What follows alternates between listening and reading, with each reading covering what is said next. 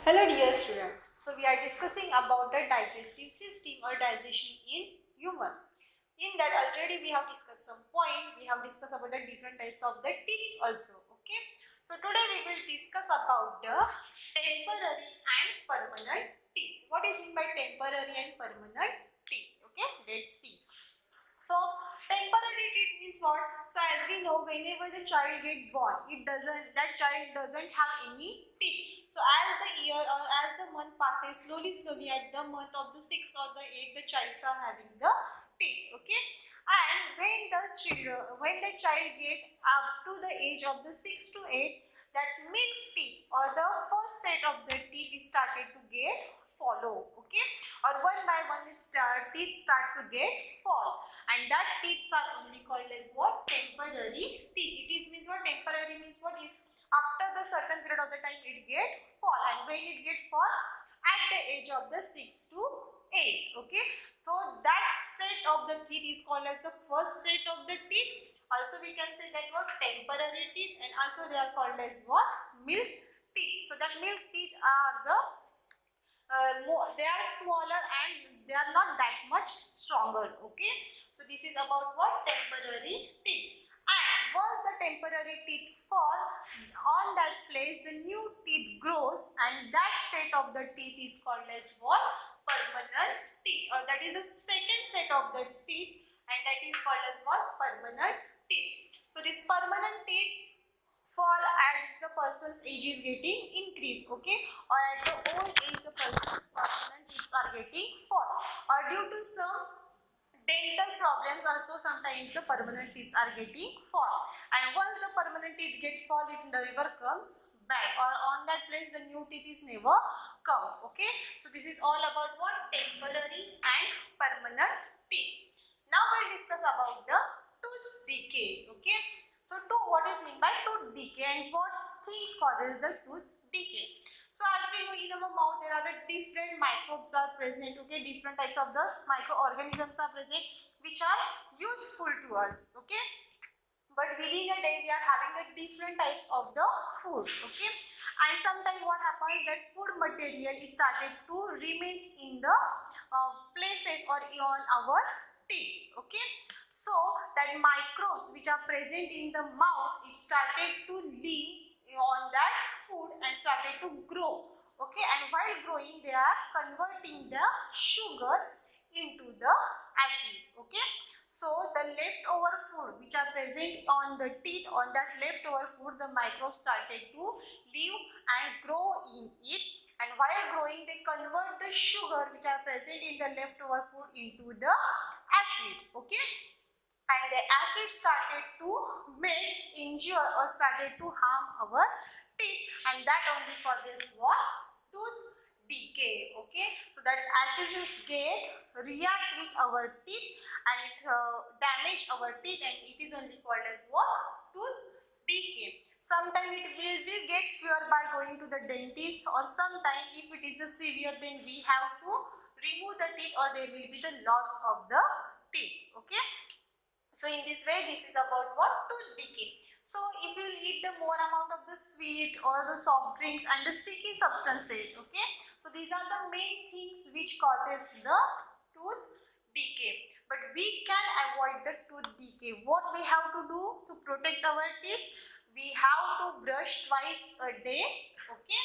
Every day we have to brush our teeth twice, once in the morning and in the evening okay or before going to the bed we have to brush our teeth. Also we have to use the floss. It is the special thread which is used to clean the teeth. That floss also we can use to clean the teeth okay?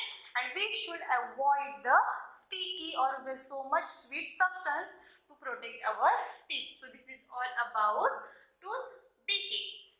Now we'll move for the next part in the buccal cavity or the mouth cavity. That is nothing but what tongue. So as we know the tongue is the muscular organ. It doesn't contain any bone in it. Okay. So it is the muscular organ which is present at the back floor of buccal cavity. Okay. From the front it is free and it can move in all direction. And this tongue helps to mix the saliva into the food and also helps to push the food into the food pipe and to swallow the food okay and a very important thing about the tongue is what it uh, because of the tongue will come to know what is the exactly taste of the food. A different taste will come to know with the help of the tongues okay? So how it is possible? Because as we know on the tongue there are the different taste bud and that with the help of the different taste bud we are getting the different taste or we come to know the different taste. Which are the taste bud so these are the certain taste bud which gives us different different taste bitter, sour, salty and the sweet. Okay. So from this particular taste bud we have come to know the different taste from the food. So this is all about what? Tongue. Next one we will discuss about what? Salivary gland. Okay. So the salivary gland produce saliva. Okay. The salivary gland produce saliva. Saliva means what? The watery substance which are continuously coming in our mouth which is continuously present in our mouth that is nothing but what? Saliva and that saliva is produced or secreted by one gland and the name of the gland is what? Salivary glands. Okay. Next one, this saliva contains one type of the enzyme that is what? Amylase. Okay. The saliva contains one type of enzyme that is called as what? Amylase. Now what is meant by enzyme? Let's see. A substance which has chemical change happen more quickly. Okay. So enzymes is what? These are the substances which doesn't take part in the reaction but they helps to speed up the reaction or we can say that what? The substance which helps chemical change happen more quickly. Okay. They speed up the certain chemical changes or certain chemical reaction but it doesn't take the part in that only the speed of the or they boost the certain chemical change or the chemical reaction they are called as what enzyme and the saliva contain the one type of the enzyme and the name of that enzyme is what amylase okay so what that amylase do? That with the help of the amylase the starch which are present in the food is get converted into the sugar okay? So with the help of the saliva in that saliva there is amylase with the help of that the starch which is present in the food is get converted into the sugar so also this saliva helps to make the food soft and slimy and helps to push the food into the food pipe okay so this is all about today today we have discussed about what temporary and permanent is tooth decay tongue and salivary gland. So all these are all the parts of what?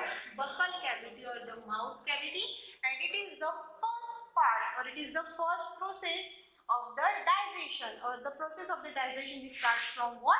Buccal cavity or mouth cavity. Okay. So this is all about today. This is time to tell you goodbye. We will meet in the next video for today. Thank you.